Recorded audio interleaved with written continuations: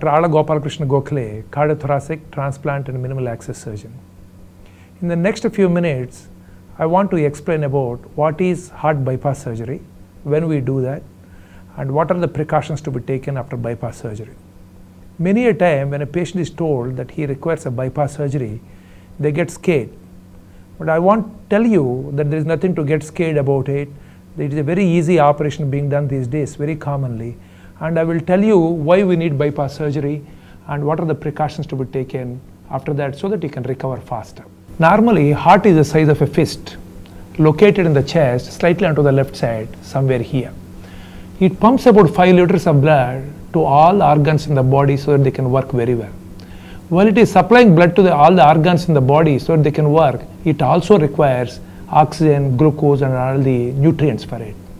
So it supplies itself also three blood vessels. Heart is like this. It pumps blood to all the organs through this red pipe. This is called aorta.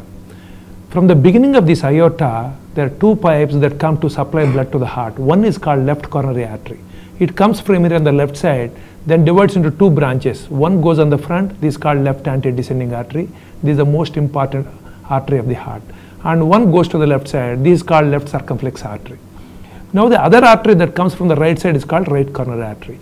This way, one on the right side, one on the front, one on the left side, they surround the heart and supply blood supply to the heart. Sometimes there can be deposits in these blood vessels, deposition of cholesterol and fat. When these deposits happen, they produce narrowing in the blood vessel. When these blood vessels get blocked, then the blood supply to that blood vessel will not be normal. So when a person walks for a distance, then heart requires more blood supply as the heart rate goes up. That time, the blood vessel is not able to give that much blood supply. So they get chest pain, usually in the front of the chest on the left side, then it may radiate into the neck onto the left side of the hand. This is called angina pectoris. Some people get pain like this, but some people can have severe sudden chest pain, what is called heart attack. People may not have any symptoms before, but when the blood vessel gets suddenly blocked, then the blood supply to that muscle is not there and the muscle starts dying. It's called heart attack. Once people develop that such set of pain, whether it's angina or heart attack, then they go to the hospital and the doctor admits them, does evaluation. At the end, to confirm the diagnosis, they do what is called coronary angiogram. The cardiologist passes a tube through the artery in the hand or from the groin, takes it to the mouth of those blood vessels in the heart, then gives a dye and then takes special x-rays. When we take those x-rays, it will show us if the blood vessels are clean, are there any blocks? If there are blocks, how many blocks are there? Where are they? How severe are they? Based on that, we take the decision whether we should put this patient on medical management only, or we should take them up for angioplasty or stenting, or we should take them up for bypass surgery. For example, blocks are too severe. They are in the main part of the blood vessel. There are three blood vessels, I said. The blocks are there in all the three blood vessels, and there are multiple places.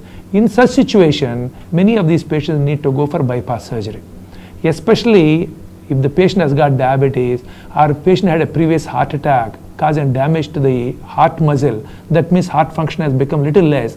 These patients most of the time get benefited better with bypass surgery than with the angioplasty or only medical management. During bypass surgery, what we do basically is, for example, there is a block in this, blood is not going down.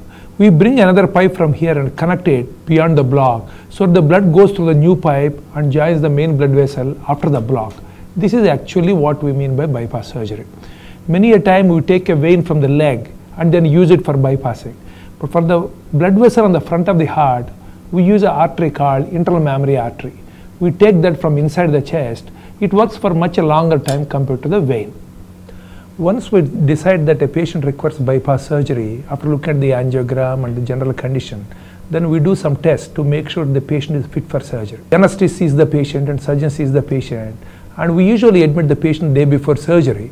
On the day of surgery, we take the patient to the operating room, give general anesthesia, and we most of the times approach the heart through a incision on the front of the chest here, cutting the breastbone, going to the heart. Sometimes these days, instead of the regular big operation, we may be able to do this operation through a small incision on the side of the chest. This is called minimal access surgery. The, this helps the patient to recover much faster in about three to four weeks time with less pain, less scarring and less bleeding. Looking at your condition, we decide what is better for you and then we let you know by which approach we are going to do this operation. After the operation, the bypass surgery, some people require one bypass, some people require three or four bypass surgeries. Whatever is required, we do in the operating room, then we bring the patient back to the intensive care unit. There, it will take about four to six hours for the patient to come out of anesthesia. Once they come out of anesthesia, we remove the ventilator, then they'll be able to talk, they'll be able to take small sips of fluids. After about two to three days, we shift them to the ward, then we keep them in the ward for another two to three days. During this time, it is very important that the patient does a lot of physiotherapy. Physiotherapist will come and explain you what, how to do those things. And if they are done, then the recovery will be much faster.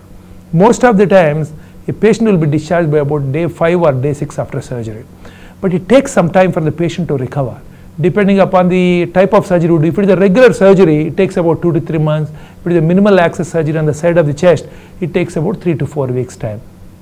During this time, what type of exercise to be done and what diet to be taken, all the precautions will be explained to you by the dietitian as well as physiotherapist. But you have to remember, once we do bypass surgery, it is not a cure. For the existing blocks, we are doing bypass but the new blocks can happen in the next few years.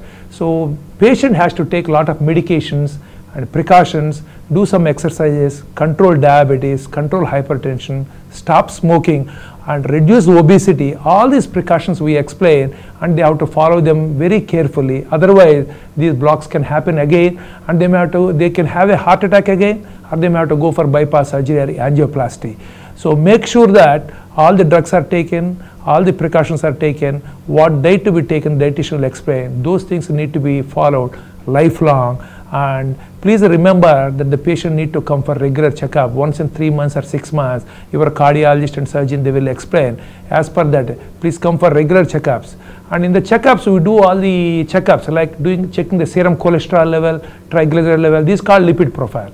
Once in a year, we do this lipid profile and do a treadmill test do echocardiogram, make sure that the heart is fine. If there are some changes, then we adjust the dose of the drugs.